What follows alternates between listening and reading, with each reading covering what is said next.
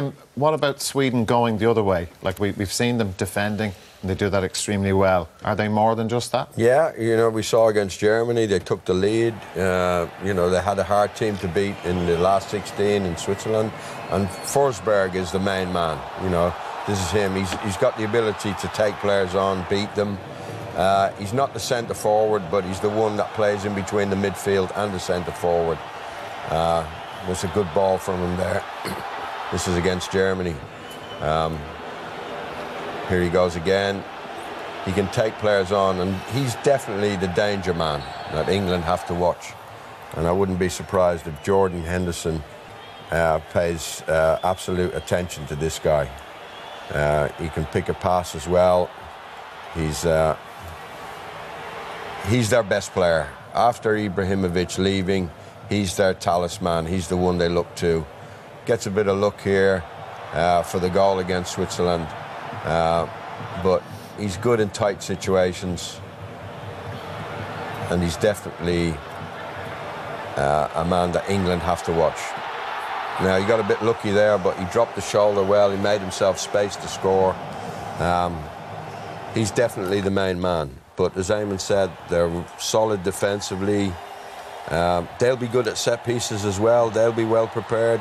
Seb Larsson, who I had at Arsenal as a kid, has had a long career. He's 33 years of age now. Uh, he's very good at corner kicks and free kicks. They're kind of similar teams, but I would say England have the more talented team. There's not a, a lot of difference between them. Just one point worth making. Uh, we played them in the Euro, Euros two years ago.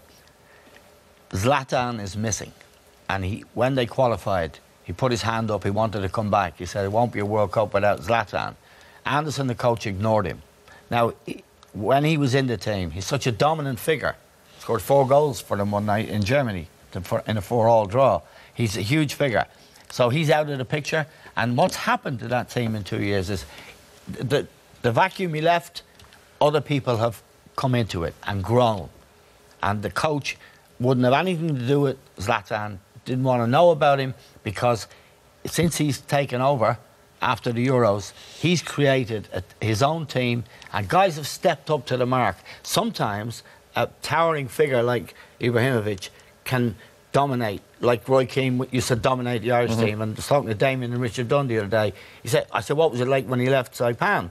They said, well, he was such a dominant figure that he, when he walked out, there was a gap, but we we all stepped up to the plate. Robbie Keane, people like that, and Ireland did really well in the mm. 2002 World Cup against Spain, against Germany. So uh, the coach had enough belief and conviction, and I think the players appreciate that, and they step up.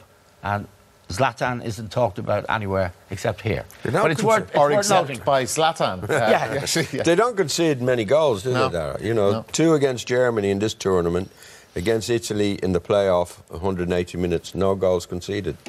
You know, so you have to treat them with respect. This will be a very difficult game yeah. for England today. And do you think, Keith, you know, there's the it, complacency could that be an issue with England or no. like Southgate appears to have thought of everything so that's got to be top of the list no I don't think so I think the, the only way this might get to them is because of the way the draws opened up that there's a little bit more pressure on them now it's not as if they're facing one of the big boys where okay it's a valiant effort the expectations in England are we're going to beat Sweden we're going to beat Croatia and Russia because we could and should and we're going to be in a World Cup final I think that's where they are now but yeah. they're going to be a difficult nut to crack. There's no doubt about that because I'm in touch on the, the, the, way the Swedes set up, the way they play. We've gone through a generation of defenders being brought up about everything they do on the ball, the way they split, the way they go high, goalkeepers ball at their feet. This Swedish team take such pride in how they defend as a team, and even more so since the Euros because they couldn't do that with Zlatan in the team. Yeah. With Toivonen and very good front, they are like two aggressive central midfielders when they drop in. They rat, they harry, they harass, and then they've got the energy when they win the ball back to go and provide some kind of outlet on, on the turnover possession. So mm. anyone who's comparing them to the team we played yeah. in the Euros and drew with, uh, thanks to a Wes Hoolahan goal, uh, you know, no, they might wonder what are they doing in the in the quarterfinal World Cup. when you got Wesley Hoolahan into yeah. this World Cup. no, but it, that, that's what happened. He disappeared, and people stepped up to the yeah. mark. And it's a great credit to the coach, and what Liam said is right. They are formidable uh, and will be today. Yeah, he's uh, Andersson, the coach, as you mentioned him. He's, he's Yeah. come through uh, Swedish football.